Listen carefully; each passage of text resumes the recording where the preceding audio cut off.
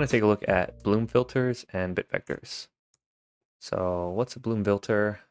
Uh, Bloom filter is kind of a, it's called a probabilistic data structure. There's a number of these, uh, count min sketch, random binary trees, random trees. Um, these are all kind of probabilistic data structures where in the case of a Bloom filter, uh, let's say you have an impractically large amount of memory. Uh, if you wanted to store and uh, and a good example of this is like a CDN, right? So your content delivery network, right? Three quarters of all URLs accessed from a typical web cache are one-hit wonders, which means they're only accessed by users once and then never again. So it'd be impractical to try to store all of that data into the web cache if it's only ever going to be accessed one time. So you can use a Bloom filter to essentially have, you know, something in front. Say, well, if it's been accessed before, then now actually cache it, right? Um, so a Bloom filter will give you either the possibility that it's in the set, it's kind of like a maybe, uh, or it's definitely not in the set. And then the probability that it's in the set as a false positive, right, will increase as you insert more and more items into that Bloom filter, right, until all the bits are one. Uh, which is why you kind of want to maintain, you know, your error rate and your false probability probability. It, um, there's different variations of this where you can do like a scalable bloom filter, right? So typically you have multiple bloom filters, right? Data structure designed to store local information. Main characteristic store multiple sets in a single data structure. Uh, that's spatial, right? So scalable here is adapt dynamically to number of elements stored, minimum false probability probability. So the idea is as you increase capacity, and the you have a maximum false, false positive probability, right? And so then you expand it based on that. Uh, we're not going to do any of that. We're just going to create a basic one where you're just going to have a bit set or bit array, and then you'll have a number of hash functions that you'll use. So uh, a couple examples here, right? I've added a few elements here. And as you add elements like, right, to the Bloom filter, it's going to assign bits to it. You know, this definitely not in the set. Right? It might be in the set because maybe the hash functions that it's run through match to one of those items in the bit array. Right? Um, some hash functions, one of the more popular ones is a murmur hash. Uh, that's used in Redis, Apache Spark, and InfluxDB. Chromium apparently uses hashmix or hashmix, right? Um, so there's a equa- couple equations here that are relevant where you can determine the number of optimal hashes, hash functions, and the optimal number of bits to use based on an estimated number of items. So if you have an estimated number of insert elements and you have a desired false positive probability rate, then you kind of compute what an ideal number of bits to use, right? Uh, you wouldn't want to say like, well, I'm only ever going to insert um, you know 10 elements you know maybe it'll spit out a number of bits that would be optimal that'll scale according to that or scale beyond that right? So all right so let's look at that. So we're going to use murmur hash. That's going to be in the hash uh, you'll want to add that to ha fast hash in your cargo uh, dot toml right? Um, you can also use bitvec but we're uh, we're just going to implement that manually here so on the number of bits, I've already gone ahead and copied those uh, equations over. Uh, one technique though, and when you're creating primitives like this, you can actually say uh, F64 on the end of your primitive, or you can do underscore, either or. Right, we have our size, which is the estimated number.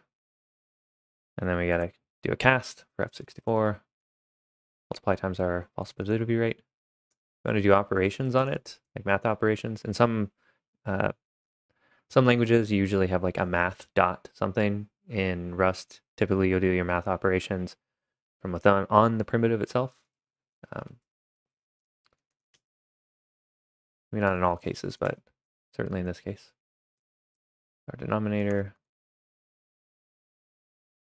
All right, so now we have our number of bits based on the estimated size and the false positivity rate.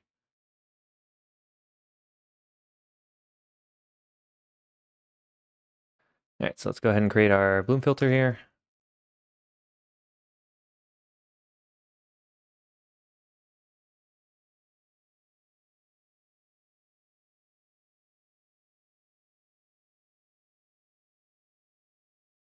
All right, so we have two functions here. We're gonna, one's going to be insert, the other one's going to get or check.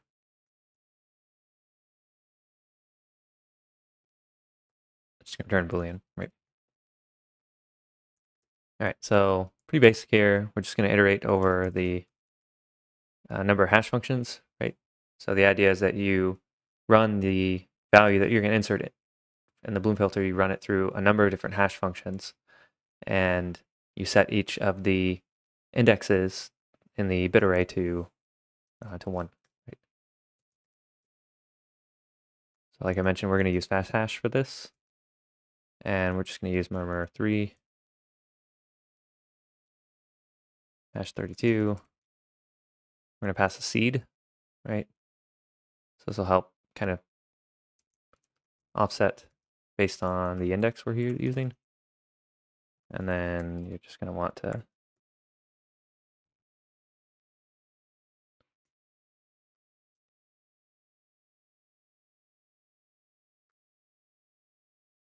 Right, we're multiplying by 8 because we've got a length that we're dealing with here. And then it's 8 because it's the number of bits, right? So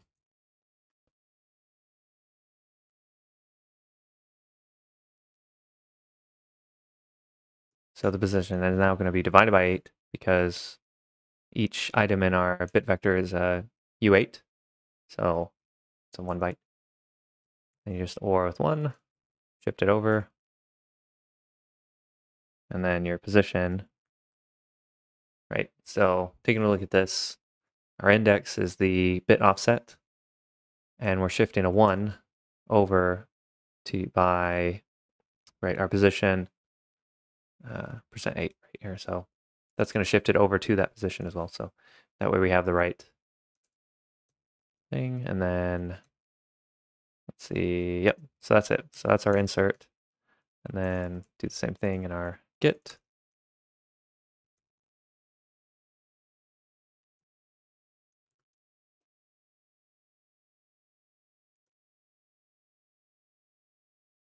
So same exact thing, got a position, Difference now is we have to shift one over and do an AND, bitwise AND, on the item in that list, right? So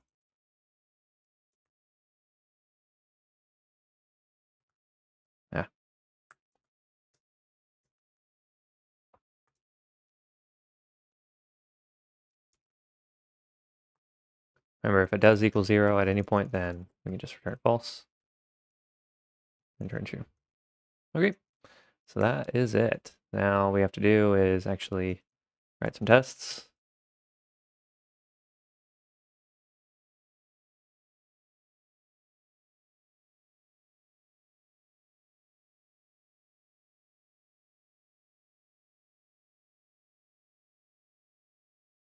There we go.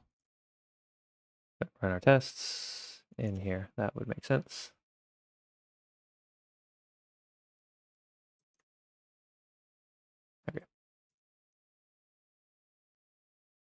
Okay, cool. So that passes. Let's do a different variation of our test here just to make sure.